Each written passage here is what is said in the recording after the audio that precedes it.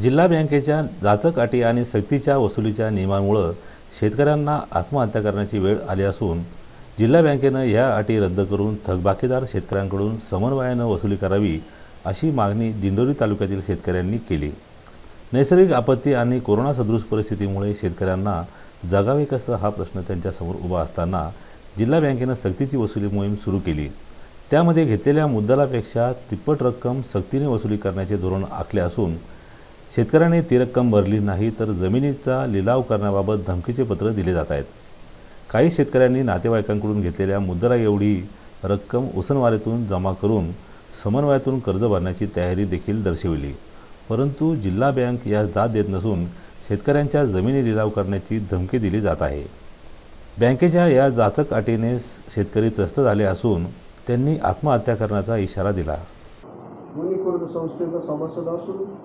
दोन हजार आठ नऊमध्ये मी शेतीसाठी कर्ज घेतलेले होते.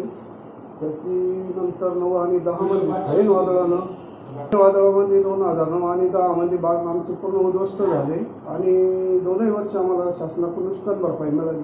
आणि त्या वैतागात आम्ही बाग करून टाकली. आतापर्यंत आम्हाला कर्ज भरता आले नाही. त्यामुळं आमचं शेती म्हणजे आमचं स्वतःचंच भागवणं अवघड पडलं. आणि सतत तीन महिने पाऊस आपला जून जून जुलै ऑगस्टमध्ये. आणि ही धरणालगतची शेती असल्यामुळं पाऊस जास्त असल्यामुळं दोन महिने काही करता येत नाही.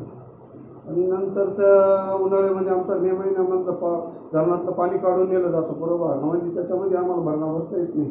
कुठली शेती करता येत नाही. त्याच्यामुळं आम्हाला जे उत्पन्न मिळते ते पन्नास टक्के जास्त भेटते उदरनिर्वाह करण्यासाठी शेतीच राहिली नाही तर जगून काय उपयोग असा सवाल शेतकऱ्यांमधून व्यक्त होतोय. संदीप गुंजाळ दिशानू दिंडोरी.